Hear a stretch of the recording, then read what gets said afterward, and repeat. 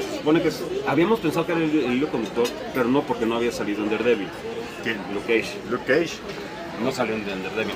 La que sale en Luke Cage, Daredevil, las dos de Daredevil y Jessica Jones es Night Nurse. Pues salió dos de él, El- la dos única de que no ha salido es este. Salió en Elias. Rosario Dawson, sí, ¿verdad? Sí, pues esto Sí, le es la estaban que atienden a Luke Cage, exactamente. Ella es la única, es el hilo conductor. Para que lo trajeron.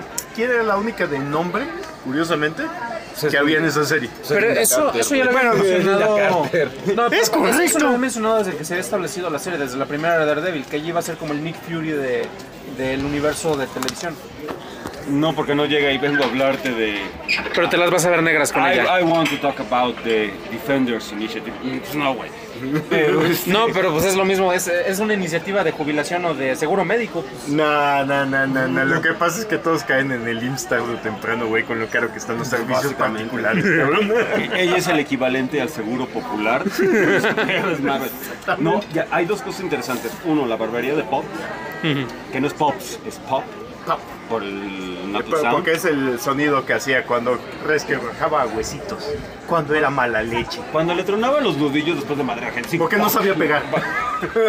Ya tenía rígidos los, los nudillos. Yo creo que tenía osteoporosis. Algo así, por eso se dedicó a la barbería. No, el güey, este, esa va a terminar siendo la oficina de Heroes for Hire. Muy probable, no lo había visto por ahí. Puede ser. Porque aparte es, es Puede ser. la Suiza del Harlem, o sea, es el territorio neutral de Harlem.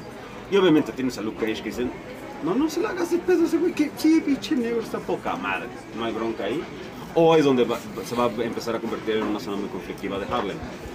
Lo que sigue estando muy chido es que es Hell's Kitchen, Harlem, Que cada uno en su barrio. y se me va en donde... Eh, ojo, porque ahí hay una mención. East, este, Eh, Hampshire, no, es, eh, No, es, es que ahí con Jessica Jones es tanto, es Hell's Kitchen, pero es también el East Side y el West Side, Ah, porque es ok. la zona pobre Es y la zona rica. Eh, exactamente, va por ahí. No nos hagamos güeyes. Quienes le pueden pagar varos son los de la zona rica, aunque la contraten en la zona pobre. Por eso se van a la zona pobre, porque creen que Generalmente más pasa barato. así con, con varias y con las exoservidores también, a veces. Leí en internet. Lo leí en la internet. Sí, sí, sí. Me contaron Me unos contaron. amigos, sí, del trabajo. que, así, que así lo manejaron. Pero eh, lo que me llama la atención y lo que la gente sigue sin entender es que dependiendo de la serie, Es el tono. Es, no, y aparte es todo el mood, la, la gente, qué clase de gente, eh, la raza, las razas que aparecen. Porque no no, no puedo crean, creer los comentarios de es muy negra la serie. es porque es gente que no entiende de qué se está hablando, la serie, de qué O se está hablando, güey. Sí, sí, pero es impresionante que digas es, es muy negra. O A sea, ver, es una serie que está en Harlem. pues sí, como o sea, que, que esperaban. Y no es cierto, ahí, se- ahí me doy cuenta que la gente no sabe ver, ve lo que quiere ver y quiere juzgar lo que no entiende. Si tú te pones a ver todo Luke Cage, hay blancos, sí. hay chinos, Es, ¿Hay es, latinos? es genial porque aparte los malos, malos per se, sin ser malos, malos, los malos de Malolandia, los estereotipados que siempre le ponían el personaje al negro, lo hace un blanco, güey. Está bien- poca madre. El policía corrupto, el blanco, güey.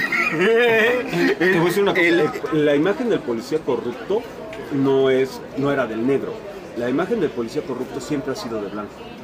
¿No viste día de entrenamiento, carnalito? Déjame la orina. Voy al baño, güey.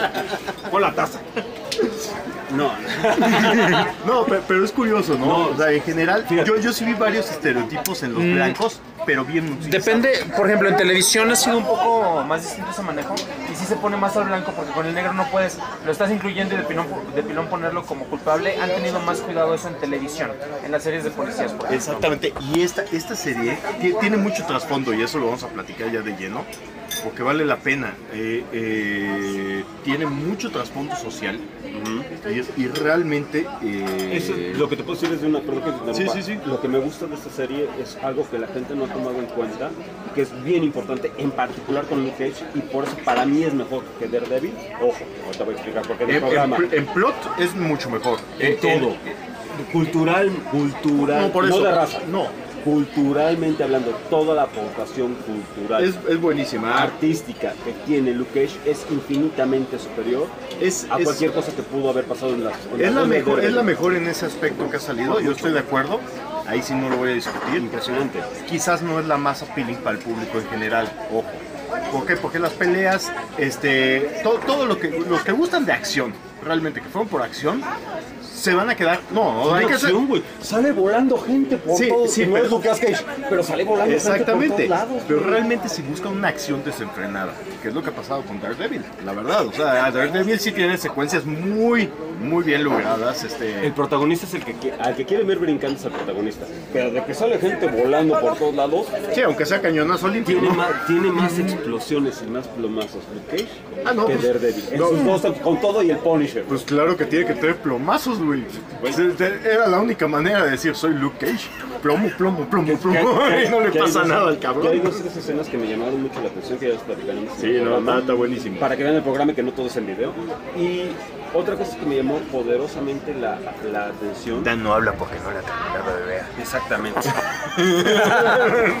Lo que me llama la atención un- uno es el, el contexto cultural que manejan, el contexto social que manejan, que no están utilizando clichés. Netamente la cultura, eso, eso es lo que me encantó, que, que creo que lo comentamos en el anterior programa, que no caen, o sea, caen en estereotipar, porque realmente es estereotipado casi tampoco. todo. Yo no vi ningún estereotipo. No, no, no, no.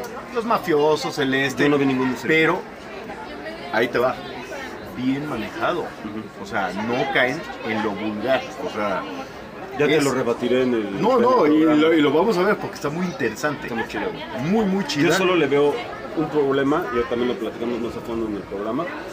Le veo dos problemas a Luke Cage. Bueno, de hecho, no, a Luke Cage, a todas las series de Netflix. A todas le sobran de dos a tres episodios. A todas. A Daredevil, a Jessica Jones, a Luke Cage. En el programa voy a explicar por qué. Y que no les afectaría porque Game of Thrones es impresionantemente exitosa y maneja formato de 10 programas. Y la otra, se me fue. Pero es HBO.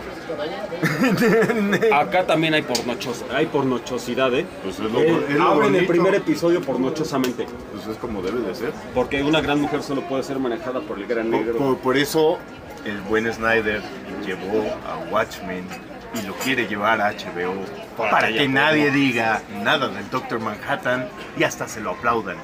Casi Su aparición, por Ya, supuesto. huevo, ya, huevo. Y ya lo hablamos en el programa. Vámonos.